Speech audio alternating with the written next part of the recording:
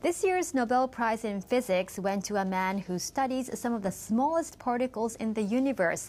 And in his Nobel lecture in Stockholm, Takaaki Kajita said there's more to discover in the world of neutrinos.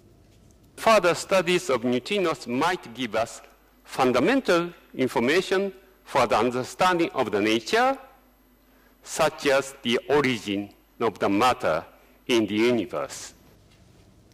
Kajita won the award for proving neutrinos have mass.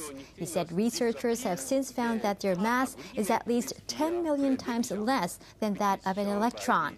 He said many young scientists contributed to the experiments at the Super Kamiokande Observatory that led to his prize winning research.